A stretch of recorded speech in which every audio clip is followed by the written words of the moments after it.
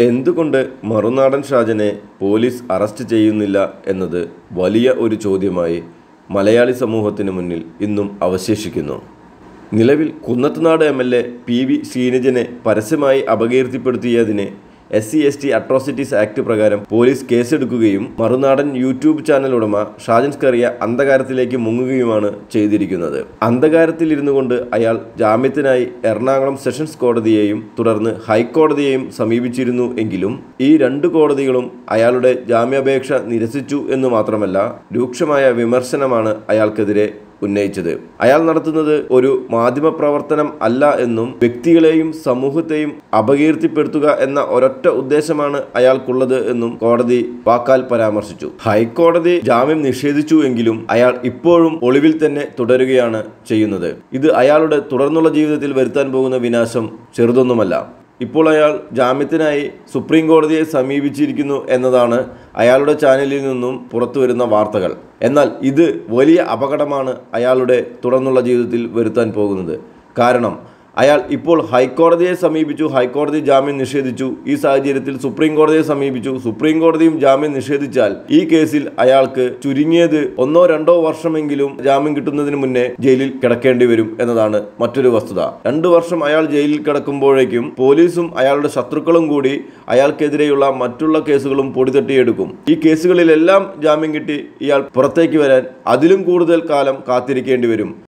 ഇയാൾക്കെതിരെ POCSO act പ്രകാരം മറ്റൊരു പോലീസ് സ്റ്റേഷനിൽ കേസെടുക്കാനുള്ള നടപടികൾ പൂർത്തീകരിച്ചു വരുന്നു എന്നാണ് മറ്റൊരു അറിവ്. നിലവിൽ ഇയാൾക്കെതിരെ ഹൈക്കോടതി ജാമ്യം നിഷേധിച്ച കേസിൽ ഇയാളെ പോലീസ് കണ്ടെത്തുകയും അറസ്റ്റ് രേഖപ്പെടുത്തുകയും ചെയ്താൽ ജയിലിൽ കിടക്കവേ തന്നെ പോക്സോ കേസിനെയും ഇയാൾ നേരിടേണ്ടി വരും. പുറത്തുനിന്ന് ജാമ്യത്തിനായി ശ്രമിക്കുന്നത് പോലെ ജയിലിന്റെ അകത്ത് കിടന്നുകൊണ്ട് ജാമ്യത്തിനായി ഇതുപോലെ പ്രവർത്തിക്കാൻ ഇയാൾക്ക് സാധിക്കുകയില്ല.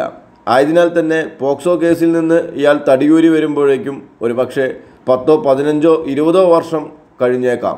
നിലവിലെ കേസിന് ഹൈക്കോടതി ജാമ്യം നിഷേധിച്ച സ്ഥിതിക്ക് കീഴടങ്ങിയാലും താഴെ കോടതികൾ ഇനി ഇയാൾക്ക് ജാമ്യം അനുവദിക്കാനുള്ള സാധ്യത വളരെ കുറവാണ്. അത് ഇയാൾ ചെയ്ത ഏറ്റവും വലിയ വിഡ്ഢിത്തരമായി തന്നെ കണക്കാക്കാം. നിയമത്തിൽ പരിജ്ഞാനമുള്ള ഷാജിൻസ്കറിയ ഇനി സുപ്രീം കോടതിയിൽ പോയി സുപ്രീം കോടതിയും ജാമ്യം നിഷേധിച്ചാൽ പിന്നെ ഒരു കോടതിയിൽ നിന്നും ഇയാൾക്ക് ജയിൽവാസത്തിനിടയിൽ ജാമ്യം കിട്ടാനുള്ള സാധ്യത ഇല്ല എന്ന് തന്നെ പറയാം. മാത്രവുമല്ല പോലീസ് ഇപ്പോൾ ഷാജൻ സ്കറിയയെ പിടികിട്ടാപ്പുള്ളിയായി പ്രഖ്യാപിച്ചിരിക്കുകയാണ്.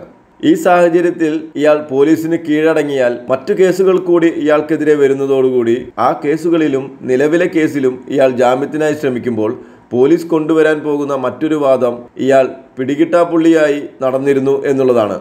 ഇയാൾക്കെതിരെ എല്ലാ വിമാനത്താവളങ്ങളിലും ലുക്കൌട്ട് നോട്ടീസ് പുറപ്പെടുവിച്ചതിനാൽ ഇയാൾക്ക് രാജ്യം വിട്ടുപോകാൻ സാധിക്കാത്ത സാഹചര്യവും നിലനിൽക്കുന്നു. കമ്മ്യൂണിസ്റ്റ് പ്രവർത്തകരെ കളിയാക്കുന്നതിന് വേണ്ടി അവരെ പ്രോ കമ്മ്യൂണിസ്റ്റ് എന്നും ഇസ്ലാം മതവിശ്വാസികളെ കളിയാക്കുന്നതിന് വേണ്ടി അവരെ പ്രോ ഇസ്ലാമിസ്റ്റുകൾ എന്നും പൊളിറ്റിക്കൽ ഇസ്ലാമിസ്റ്റുകൾ എന്നും എല്ലാം പറഞ്ഞുകൊണ്ടാണ് ഇയാൾ പുലഭ്യം നിരന്തരം പറഞ്ഞുകൊണ്ടിരുന്നത്.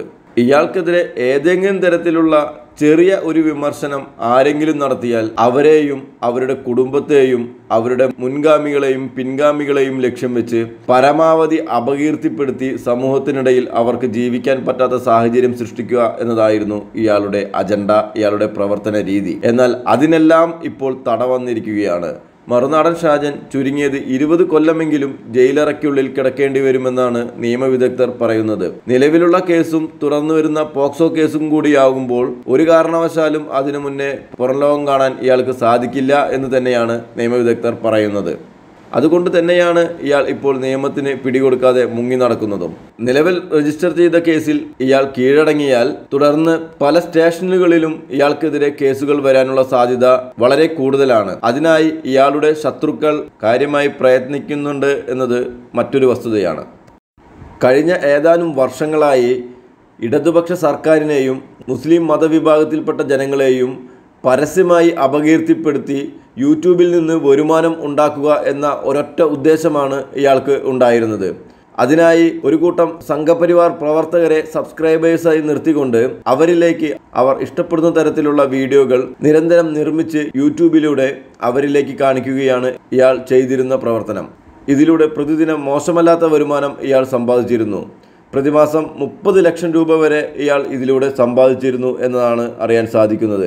ഇപ്രകാരം വരുമാനം ഉണ്ടാക്കുന്നതിനിടയിൽ ഇയാൾക്ക് പറ്റിയ ചില വീഴ്ചകളാണ് വ്യക്തിപരമായി ആളുകളെ ആക്ഷേപിക്കൽ. ഏറ്റവും കൗതുകകരമായ ഒരു വിഷയം ഇയാളെ രണ്ടു വർഷം മുന്നേ പ്രശസ്ത മിമിക്രി സിനിമാ താരവുമായ ടിനി ടോം സോഷ്യൽ മീഡിയയിലൂടെ പരസ്യമായി ശപിച്ചിരുന്നു എന്നതാണ്. ആ ശാപം കൃത്യമായി ഏ- ആ ശാപം ആ ശാപം കൃത്യമായി ഏൽക്കുന്ന കാഴ്ചയാണ് ഇപ്പോൾ മലയാളികൾ കണ്ടുകൊണ്ടിരിക്കുന്നത്.